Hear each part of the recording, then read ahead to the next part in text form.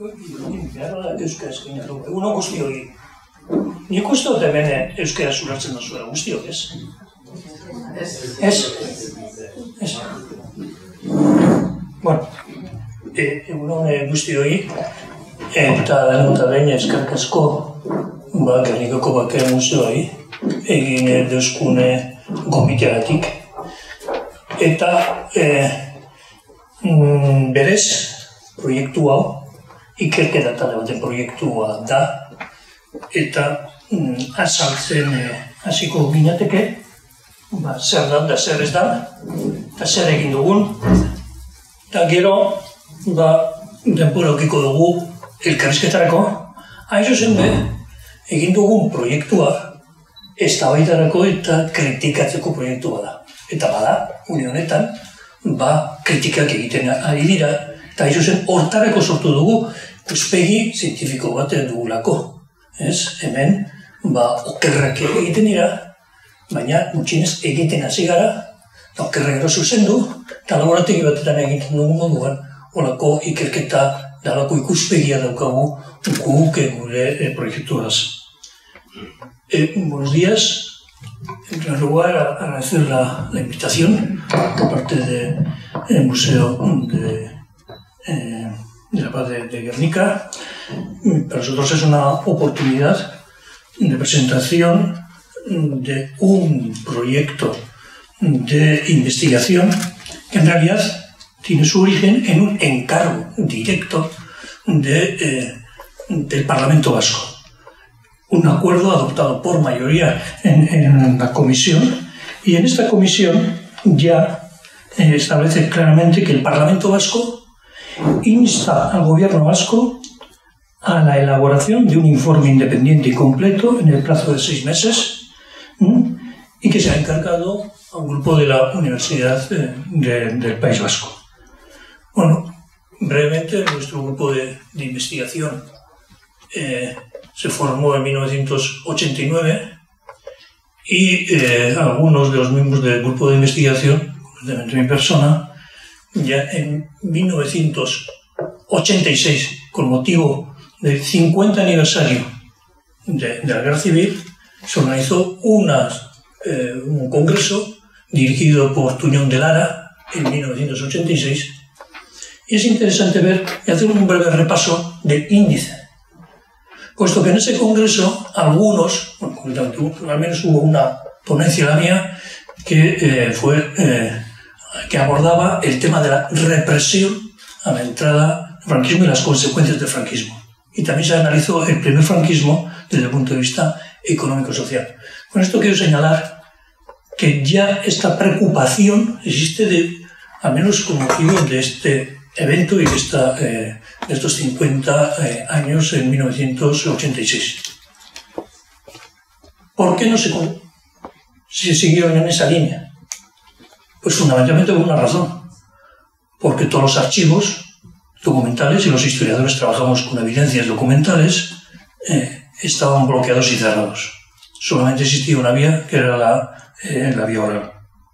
Pero sin embargo, ya, y en ese momento, en otras universidades, concretamente en la Barcelona, ya se defendían tesis doctorales sobre la represión y sobre las consecuencias que significaban, que significaron la eh, guerra que sabemos que la guerra se inicia en el 36, pero según eh, nuestra interpretación y según la interpretación propia eh, de la doctrina establecida por el, por el franquismo, esto no, no desaparece, no finaliza hasta 1978, en el que se restablecen las libertades democráticas con garantías eh, legales. La primera parte de la exposición la va a desarrollar un miembro del grupo, es Unai Belostegui, un joven doctor, está especializado precisamente en memorias de, públicas. Y vamos a ir intercalando esta interpretación y esta exhibición y, esta eh, bueno, exposición. Por una parte de lo que contribuye este primer volumen de Senderos de la Memoria, de espacios y lugares, y también hablaremos de la segunda parte que saldrá pronto, uno de los coautores de la segunda parte está también presente aquí, y eh, la segunda parte de este volumen de Senderos eh, de la Memoria. Unai, unai beruzte.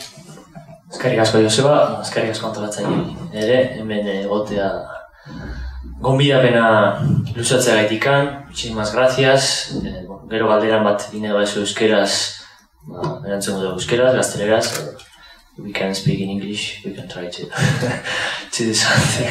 You can do it in English, no problem. Problem, problem, yes, ari de. Okay. Bueno, eh, como bien ha comentado Seba, eh, eh, hemos venido a presentar el proyecto eh, de investigación que nos encargó, eh, que nos fue encargado por el gobierno vasco y para ello eh, hemos pensado que sería oportuno realizar una pequeña presentación del contexto que bueno, todo el mundo lo conoce, pero bueno, eh, justo la semana que viene eh, bueno, será el 85 aniversario de la proclamación de la Segunda República Española y el 80 aniversario del de comienzo de la Guerra Civil o del fallido eh, golpe militar contra la Segunda República, lo que bueno, precedió a, a 40 años de dictadura eh, militar eh, franquista. Eh, como anécdota, os hemos traído una imagen de según el Ministerio de Trabajo español, hasta el 2010, eh, Franco fue el personaje no norteamericano que más veces apareció en la revista Time, en la famosa revista Time, en la portada de la famosa revista Time, que salen en ocho ocasiones. Nos habla un poco de cómo fue la dictadura o cómo aquella, aquel golpe fracasado, cómo se perpetuó durante tantos, tantos años. Eh, con la muerte del eh, dictador comienza la quiebra eh, de la dictadura y uno de los primeros ejercicios respecto a la memoria o a la, no memoria se lleva a cabo con la, con la conocida ley de, de amnistía general proclamada en el en, el, en otoño del 77. Bueno, el objetivo de, de aquella ley eh, era la, bueno, más que la reconciliación o la reconciliación con el olvido, ¿no? Un modelo, crear un, modelo, un modelo de impunidad hacia los golpistas y hacia eh, los 40 años de, de, ejercicio militar llevado a cabo eh, en España. Nos encontramos con frases que, no sé, si se leen eh, con frases como estas que representan muy bien qué fue aquella ley de amnistía y el contexto en el que se, se decidió proclamar aquella ley. Una amnistía de todos para todos, un olvido de todos para todos, porque hechos de sangre ha vivido por ambas partes, también por el poder. Olvidemos pues todo.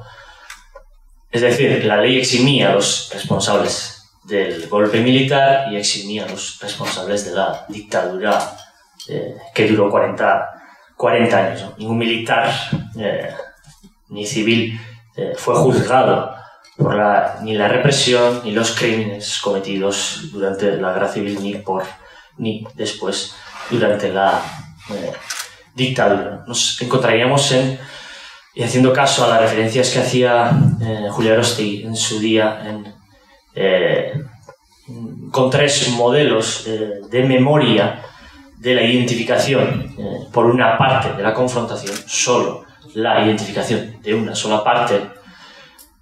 Un, un segundo aspecto sería la reconciliación, comienzos de la reconciliación eh, de la memoria en donde bueno, ambas partes eh, son, se identifican a ambas partes y una tercera parte sería la reparación o, o el intento de eh, restitución de, del pasado. ¿no?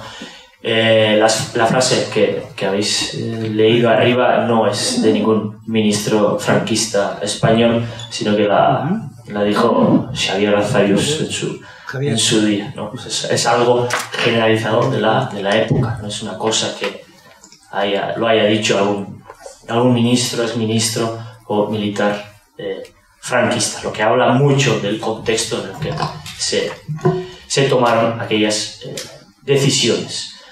Eh, después de la ley de amnistía,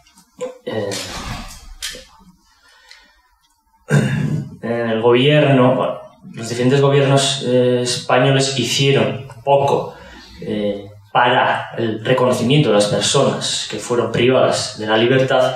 Una de las principales leyes fue el, que proclamaron en, 1990, donde pues, se reconocía a aquellos que eh, estuvieron confinados en algún tipo de cárcel, estuvieron privadas de libertad durante más, al menos tres años. Fueron denegadas, eh, eh, de, todas las solicitudes que se presentaron, fueron delegadas casi la mitad de, ellas, por dificultad de presentar papeles, demostrar, etcétera, etcétera, etcétera. ¿no? Eh, para intentar rellenar este vacío, las comunidades autónomas, después de, aquella ley, bueno, proclamaron otras leyes y decretos que también en su mayoría eh, fueron insuficientes o han sido insuficientes. Tenés, bueno, os hemos traído la lista de algunas, algunas de las leyes o decretos firmados por en diferentes años por las diferentes comunidades y veréis que en todas ellas, en la columna final, ¿no? la denegación de las solicitudes pues, es, casi llega a la, a la mitad. Hay algunos, algunas leyes más, como los del gobierno vasco en, los 80, pero las principales pueden ser estas. ¿no? Y de aquí pasamos al, eh, al año 2007, cuando el gobierno español eh, eh, del entonces presidente eh, Rodríguez Zapatero bueno, aprueba una nueva ley, o la ley de memoria histórica, que bueno, se pensaba que venía un poco o afrontaba de verdad el problema que eh, se estaba viviendo el, el, Estado español. Pero las críticas a dicha ley pues, llegaron al día siguiente, tanto de instituciones eh, internacionales, organismos internacionales, como instituciones más eh, nacional, a nivel nacional y local. Eh, las más eh, pronunciadas, como la Amnistía Internacional o la propia ONU, os hemos traído una referencia de uno, de los relatores de un informe que realizó la ONU en 2004, donde decía sobre la ley de memoria histórica que no se estableció nunca una política de Estado en materia de verdad. No existe información oficial ni mecanismo de esclarecimiento de la verdad el modelo vigente de privatización de las exhumaciones, que delega esa responsabilidad a las víctimas y asociaciones, alimenta indiferencia de las instituciones estatales. Una crítica directa a las instituciones, organismos eh, políticos que dirigían o han dirigido o han querido pretender o han pretendido dirigir esta, eh, este reconocimiento a la memoria. Bueno, el presidente, bueno, el presidente en funciones actual eh, confirma lo que venía o lo que se venía viendo al menos desde el 1977 con estas dos, otras dos afirmaciones que pues, los hacía eh, de manera holgada y eh, quizá chulesca. ¿no? De noviembre eh, del 2015, el año pasado, en campaña electoral, preguntado por un periodista, eh, respondía, la asignación presupuestaria los cinco presupuestos que ha hecho este gobierno, eh, la aplicación de la ley de memoria histórica previa de Zapatero, ha sido igual, porque fue cero todos los años. Periodista le preguntaba por qué no habéis derogado la ley. Y él respondía pues, que no hemos derogado, pero pues, la asignación presupuestaria ha sido cero, no hemos hecho nada para impulsar la ley. Y en abril, bueno, la semana pasada, esta semana, una entrevista que le hizo el famoso eh, reportero de la sexta, este, el Évole, eh, le respondió otra vez, bueno, le, eh, le, preguntaba sobre el mismo tema y le contestaba a Rajoy que no hay que seguir mirando al pasado. No, tengo claro que el gobierno pueda hacer nada por arreglarlo. Solo dice el presidente de un país democrático como eh, España. más allá refleja muy bien la postura oficial política o de las instituciones eh, políticas que se ha ido llevando a cabo desde aquella ley de amnistía de 1977. y con este contexto un poco empezaremos ahora a hablar de, de Joseba y yo empezaremos a hablar, haremos una introducción del, del libro.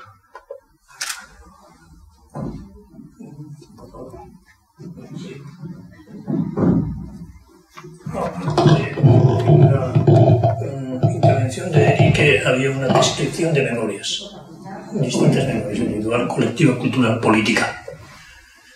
Nosotros, eh, siguiendo eh, a Ostegui, queremos interpretar las memorias.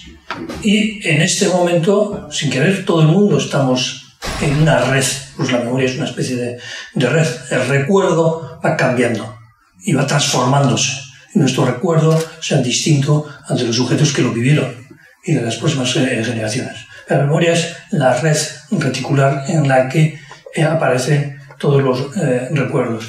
Por eso quiero subrayar que todavía, desde un punto de vista institucional o de algunas instituciones, estamos inscritos en la memoria de la impunidad, la memoria de la reconciliación, la que ha cultivado, han cultivado los sucesivos gobiernos democráticos españoles desde 1978, eh, en la que eh, se establece una eh, distancia y una equidistancia, falsa equidistancia. Si ustedes leen el comunicado del presidente socialista del gobierno en 1986, es un modelo exacto, más allá de la, de la intervención de Xavier Arceius con motivo del debate de la ley de amnistía, en 1986, con motivo del 50 aniversario de la guerra, y hay una equidistancia, y justamente la nueva ley de Zapatero de 2007 abre la puerta para una nueva memoria que es la de reparación y de restitución. Y en ese contexto se ubica la resolución del Parlamento Vasco y el encargo al gobierno vasco y, y concretamente quién está gestionando una memoria de restitución y reparación es el Departamento de Derechos Humanos del Gobierno Vasco y particularmente en, en este último mandato bajo la dirección de Jonan Fernández y, Mónica eh, Hernando. Y en ese contexto es donde aparece nuestro trabajo, el encargo. ¿Cómo hemos desarrollado, hemos planteado? El primer capítulo nuestro es definir que la memoria no es el pasado. No tenemos fascinación por el pasado, somos pasado y hay 175, 80 organizaciones y, finalmente hemos querido eh, que en el primer capítulo aparezca la relación de entidades censadas que se dedican a cultivar el presente, un presente sin eh, corte con el pasado. Y este, este capítulo fue realizado, este primer censo, con una encuesta eh, a cada uno de, los grupos, y, eh, que son los espacios de la memoria viva contemporánea. Lugares de memoria protagonizados por entidades públicas y privadas en el País Vasco en la actualidad, en el 2015, que es cuando eh, elaboramos el, informe. Bueno, sabe, ya que estoy aquí, aprovecharemos para hablar un poco de cómo fue el proceso, porque nos parece interesante, como ha mencionado eh, Joseba, de que estamos hablando de la, de la memoria, bueno, estamos hablando del pasado, pero de un pasado realizado desde el presente, desde donde eh, se ha mantenido, donde se ha conservado, donde se ha trabajado más eh, esa eh, memoria.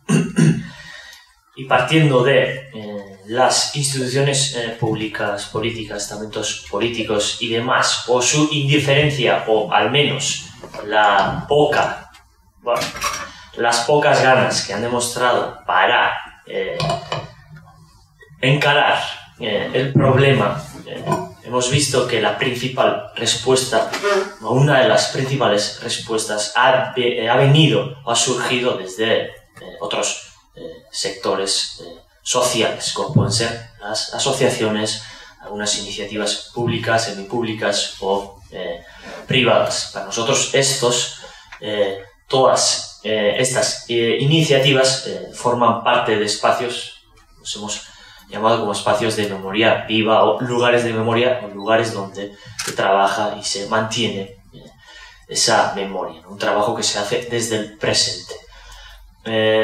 Modelo para, y todas ellas constituyen un modelo para la conservación de las memorias. hemos querido ofrecer una primera perspectiva global de la comunidad autónoma de cómo están eh, distribuidas y qué tipo de asociaciones, iniciativas se llevan a cabo en, las tres eh, provincias.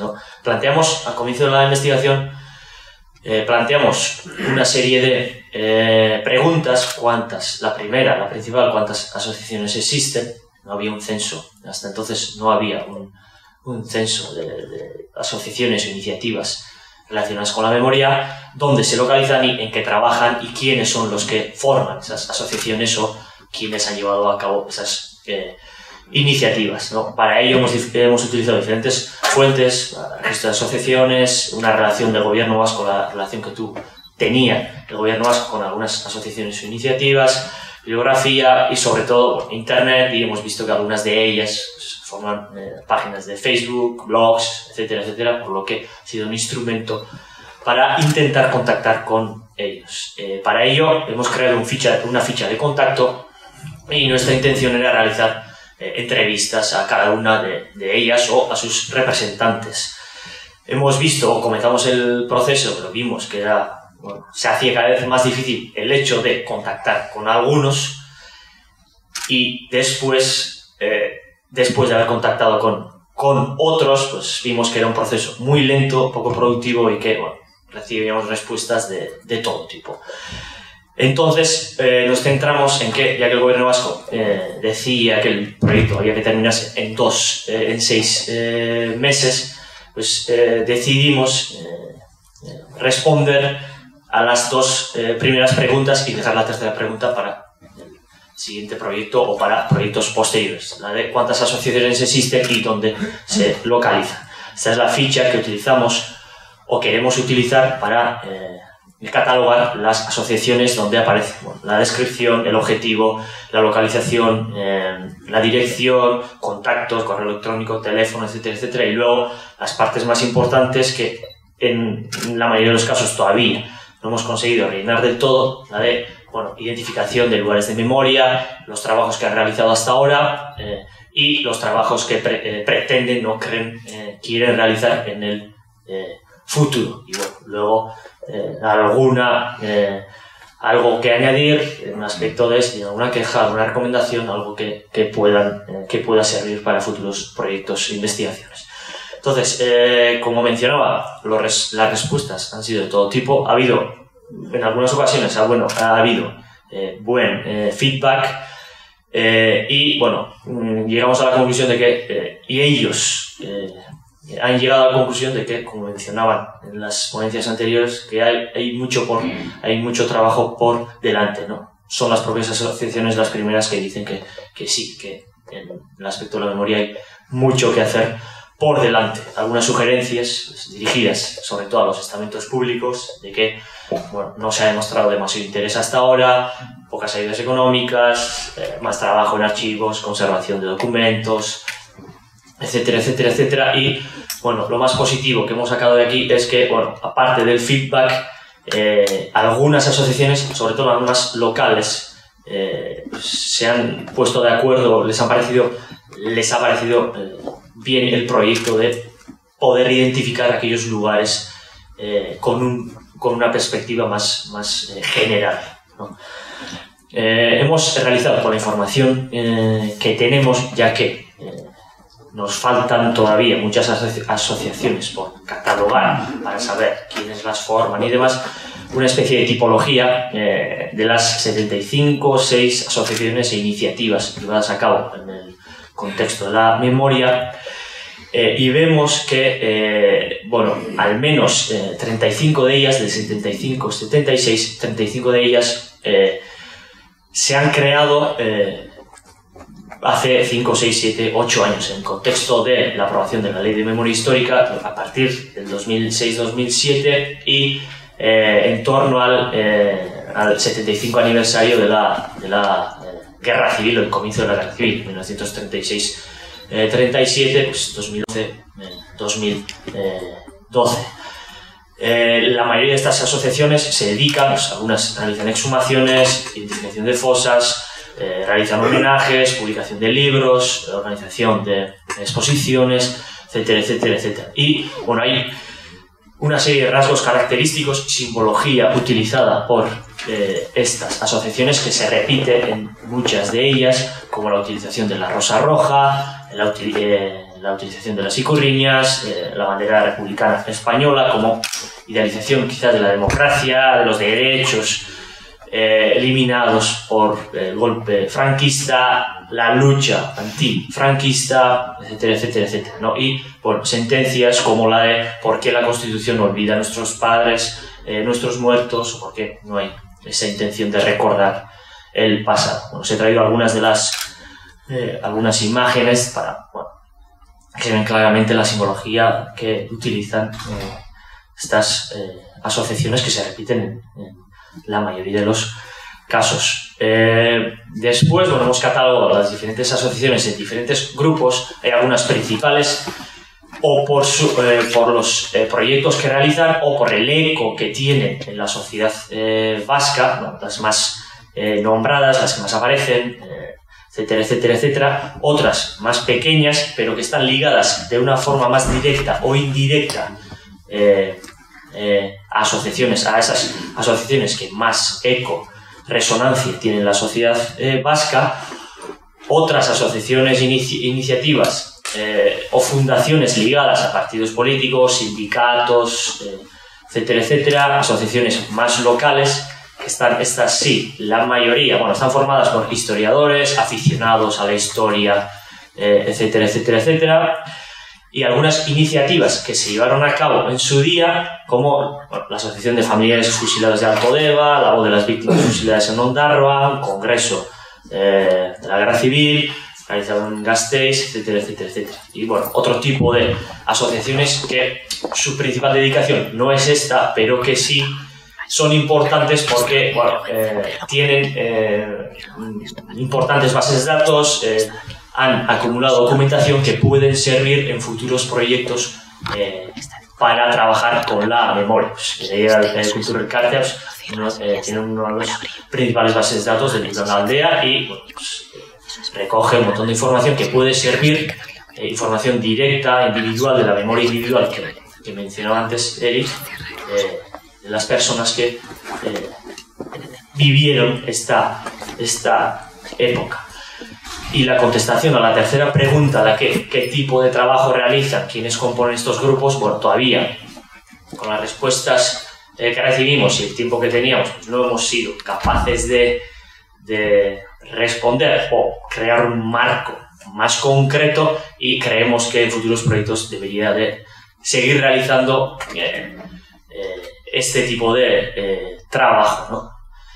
algunas de las conclusiones que nos aportaron las asociaciones, bueno, pues que han sido, la mayoría de ellas han sido creadas para llenar o rellenar un vacío que ellos como individuos o grupos veían en su entorno, eh, que realizan un trabajo necesario y algunos, sobre todo los más locales, que están dispuestos a realizarse feedback eh, eh, con nosotros o cualquiera que lleve a cabo este tipo de proyectos. Hemos tenido contactos con algunos, nos han escrito, algunos felicitando, otros corrigiendo de que no hemos expresado muy bien el trabajo que hacen o lo que hacen, y otros pues quejándose directamente de que pues, alguno que otro ha habido de que pues, lo que aparece ahí o no es correcto o no refleja muy bien sus eh, pretensiones. Eh, y con estas asociaciones hemos creado un, eh, un mapa de localización que creemos que es, bueno,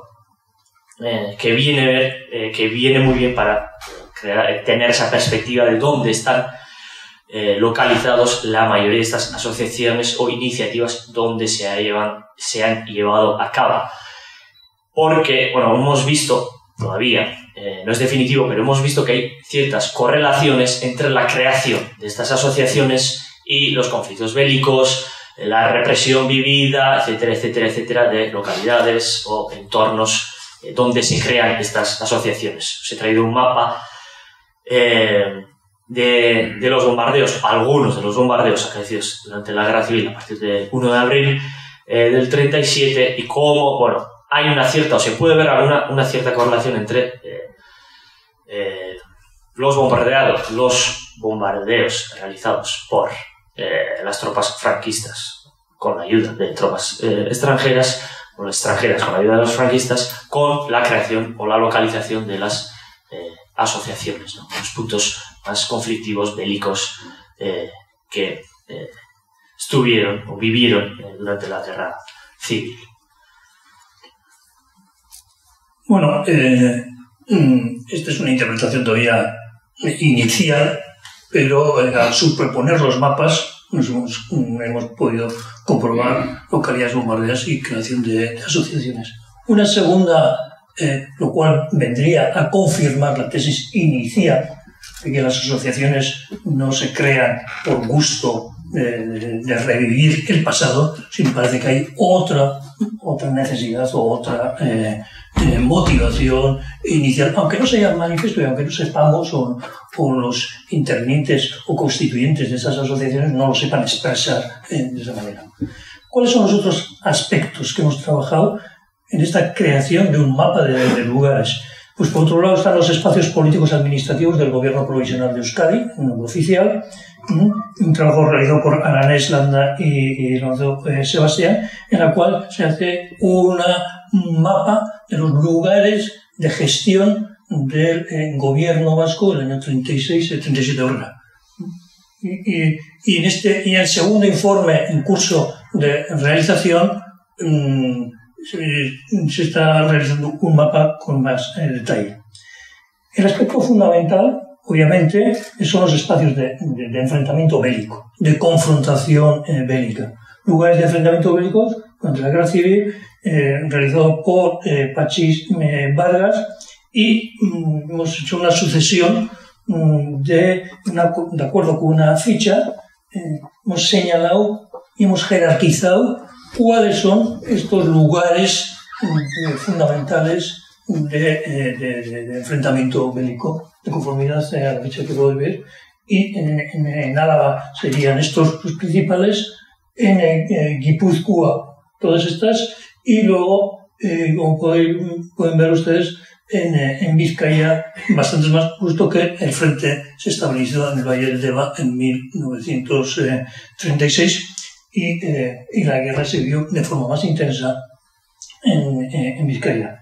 Ciertamente el trabajo de Vargas eh, ha sido un trabajo eh, exhaustivo, mm, hemos tenido que contrastar estas fuentes y todas, todas tienen, de conformidad a la metodología científica, una relación de fuentes documentales contrastadas mm, para mm, establecer estos lugares como eh, lugares eh, de memoria y crear los itinerarios o senderos posteriores. Otro aspecto que creemos también eh, original del informe sería la relación de bombardeos de núcleos urbanos y poblaciones civiles realizado por Saber, bajo la dirección de Xavier Irujo, doctor Xavier Irujo y, mm, y Pérez, en el cual hemos querido señalar y hacer también una ficha correspondiente de, las localidades bombardeadas mm, por las tropas republicanas o, las eh, insurrectas, eh, las rebeldes, con ayuda de, mm, eh, las aviaciones principalmente alemana e italiana. Aquí se pueden ver las localidades que sufrieron localidades de poblaciones civiles aparte luego también de los lugares eh, de enfrentamiento eh, bélico. Este mapa mm, pues, nos puede, eh, puede ser también como interpretación que el hecho de bombardeos, de bombardeos como el de Durango o el de, el Guernica no son hechos aislados, sino fue ya una estrategia que confirma la hipótesis de que se trata de un plan de experimentación de una nueva guerra, un nuevo tipo de guerra, que es la guerra total. Y mm, observando eh, el mapa, vemos cómo la aviación forma parte, y, la, y concretamente contra la población civil, la población civil forma parte de U y se convierte en objetivo militar de forma escalonada. Y esto también, con los sucesivos debates sobre quién ordenó y quién mandó quién, tiene la responsabilidad del bombardeo de Guernica, solamente viendo todas e, e, estas decisiones, todas las decisiones dependían del alto mando y, obviamente fue decisión del alto mando franquista puesto que todas dependían de la, toma, la decisión de, de de las distintas localidades. Eh, y eh, otro aspecto importante es los espacios habilitados como prisiones y campos de concentración durante la Guerra Civil como lugares de memoria, prisiones franquistas y prisiones republicanas. No hay que olvidar que eh, desde 1976, con asaltos a, los barcos prisión y asaltos también a las cárceles de, de, la República, bajo, a partir de 1936 bajo jurisdicción y responsabilidad del gobierno vasco, mm, pues fueron eh, y, son eh, sin duda alguna eh, espacios de, memoria. Junto a las prisiones mm, tenemos mm, otro mapa de hospitales militares e infraestructura de hospitales militares. en base a un libro sobre la sanidad militar que un excelente libro que fue utilizado en la causa eh, general y fue utilizado en los sucesivos juicios para eh, mm, acusar y fusilar a los responsables que construyeron esa sanidad militar al servicio del gobierno vasco. tanta eficiencia eh, administrativa por parte del gobierno vasco, finalmente esa documentación fue utilizada pues, de forma inopinada, obviamente, porque querían demostrar la eficiencia de la administración vasca, eh, fue utilizada en los sucesivos eh, eh, mm, juicios sumarísimos contra sus responsables. Y otro aspecto es el de lugares públicos y privados donde se utilizó trabajo forzado. Trabajo forzado esclavo. Y aquí hay un primer mapa, que es el, primer mapa sobre lugares y, por tanto, también de espacios de memoria sobre lugares de trabajo forzado bajo franquismo en la comunidad autónoma vasca. Es decir, que, y también de forma documentada. Oralmente también hay otras, pero estos son los lugares donde tenemos constancia documental de que se utilizó y es un trabajo, eh, no he citado los autores anteriores, que es eh, Ipiña, otro miembro de un grupo de investigación nuestro, y este es eh, Fernando Mendiola, uno de los senadores en Navarra de Memoria de Videac, quien ha realizado esta nosotros, eh, este informe sobre lugares de, trabajo eh, forzado. Esto, en esto consiste el primer volumen, con unas recomendaciones para futuras actuaciones. No me voy a extender, son las 12, no me voy a extender en las recomendaciones. Eh, el informe está colgado, es decir, que está en la página web, pero en las recomendaciones, nosotros, puesto que así nos lo pidió Mónica, la directora de, Derechos Humanos, que nos implicáramos en próximas eh, actuaciones y próximas recomendaciones. Y nosotros hicimos hasta ocho actuaciones, ocho, un mapa o una sugerencia de ocho. No las voy a, eh, eh, exponer, ¿no? pero sobre todas ellas, y la más importante, era que dar un, un lugar común. Es decir, que tengamos una perspectiva más común eh, más allá de la experiencia local de cada una de las eh, mm, localidades y cada uno de los eh, lugares. Y, y, que quisiéramos que se que cultivar esta visión más común con los, ya digo, con los posibles defectos que pudieran derivarse, etc. Hay sobre distintas sugerencias que hacemos al respecto. Y en la segunda parte, bueno, estos son eh, mm, eh, las, eh, los aspectos señalados, las recomendaciones que hacemos a los poderes públicos para continuar con este trabajo. Y en segundo informe, mm, que, que próximamente se mm, difundirá al público, hemos trabajado de nuevo las administraciones públicas del gobierno vasco el aspecto también de los bombardeos, finalmente la relación de bombardeos que antes teníamos en 400, en 600, se eh, excede ya más de mil bombardeos en un periodo muy breve y documentado en función de, en base a los partes de vuelo. Y el tercero y más importante es el de los itinerarios o senderos del exilio.